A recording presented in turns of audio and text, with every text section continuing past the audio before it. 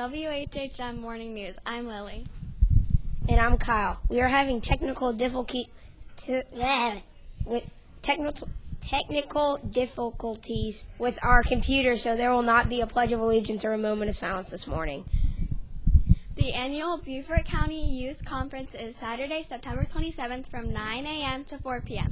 See Mrs. Markowitz in the guidance department for more information. Hi, I'm Mackenzie Starnes, and now for the weather. Widely scattered thunderstorms and showers this morning. Then later on, partly cloudy skies. High 84, winds east at 5 to 10 miles per hour, chance of rain 30%.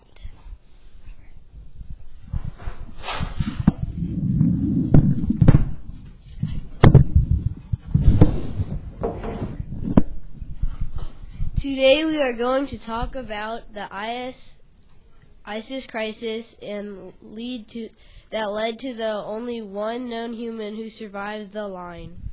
Which is what ISIS put soldiers in a line and killed them one by one and videotape the whole thing and upload it to the internet to make people switch religions to another or else be killed. This one soldier was the fourth in line and had some blood on him because the guy in front of him got shot and the blood got on him. And when it was his turn to be shot, the bullet missed his head and fell to the ground and pretended to be dead.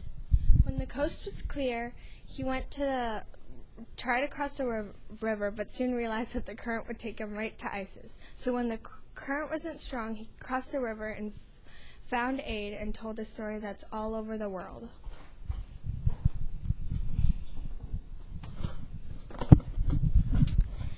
Hi, I'm Cassie, and today I have a random fact. Did you know that chocolate milk was created in Ireland? Now that's random.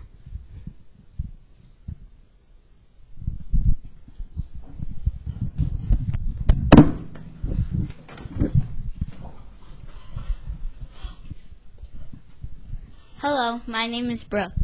My name is Jackson, and we are going to be naming the top five NFL players of this season.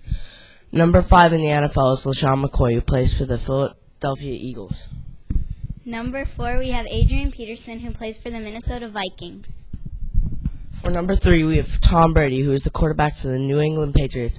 And number two is Calvin Johnson, who plays for the Detroit Lions.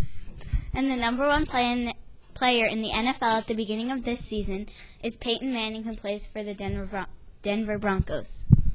That's all for sports news for today.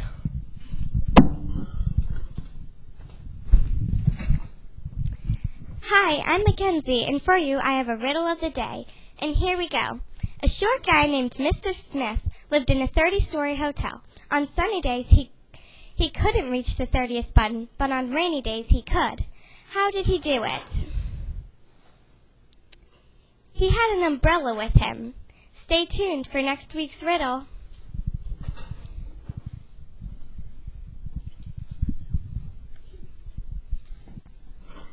Hello, I'm Caleb Jackson, and we are announcing the top five iTunes songs of 2014.